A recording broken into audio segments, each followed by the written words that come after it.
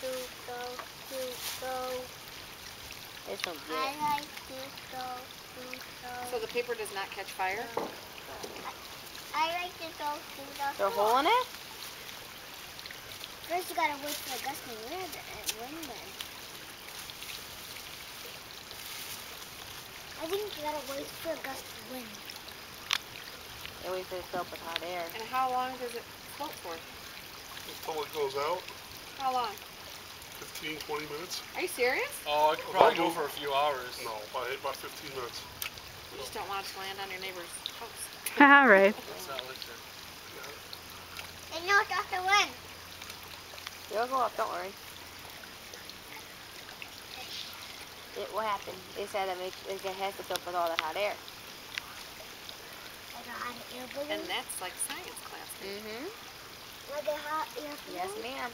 Has to fill up with hot air, which is, the hot air is lighter than regular air, which makes it go up.